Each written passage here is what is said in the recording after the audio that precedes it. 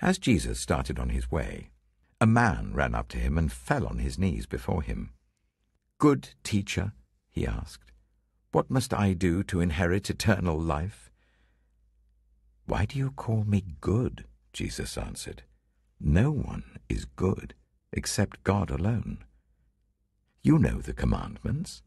You shall not murder, you shall not commit adultery, you shall not steal, you shall not give false testimony, you shall not defraud. Honor your father and mother. Teacher, he declared, all these I've kept since I was a boy. Jesus looked at him and loved him. One thing you lack, he said. Go, sell everything you have and give to the poor, and you will have treasure in heaven. Then come, follow me. At this the man's face fell. He went away sad because he had great wealth.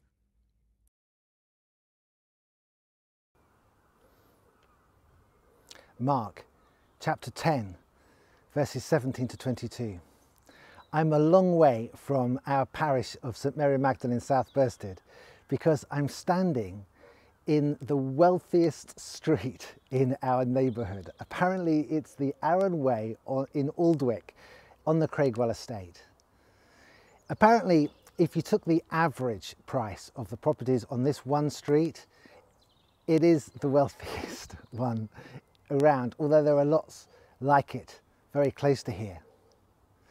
Each property on average is, is, is valued at well over three quarters of a million. Our passage today has a rich young man in it and he approaches Jesus and he asks him, what must I do to be saved? It's a great question. Although it does have a big problem.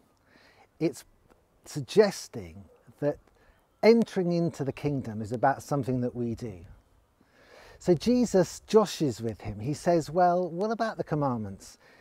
And he's saying, Yeah, no, I'm really good on those. And Jesus talks about the back half intentionally, the ones that relate to other people and things. He doesn't mention initially the first ones which are about our relationship with God. And again, the man is saying, Yeah, no, great, I've done all this since primary school. I'm good on all those. And Jesus loves the man and says, Do you know what? There's something that you need to do. Effectively, if this man likes doing stuff, he needs to put some, he needs to put Jesus before anything else he needs to be able to let go of his stuff, anything that he's going to put in front of and before God. Well, I have here a monkey trap. Apparently, this is one way you can catch a monkey. It's a coconut with a hole in it and some rope you, what you would do is you would tie the rope onto a tree and you would put in here maybe a peanut, maybe some fruit. The monkey would come along, place his hand into the monkey, uh, into the trap, into the coconut, and then would not let go. And by forming a fist, it wouldn't then come out through the hole. So the monkey would be trapped onto the coconut tied to the tree. All the monkey would need to do is to let go and he would be free. And yet, apparently, that's not what they do.